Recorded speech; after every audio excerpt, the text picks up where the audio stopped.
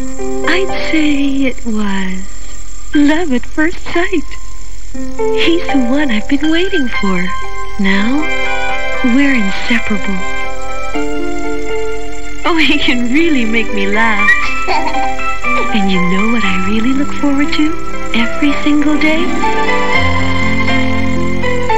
His irresistible, wonderful baby smell.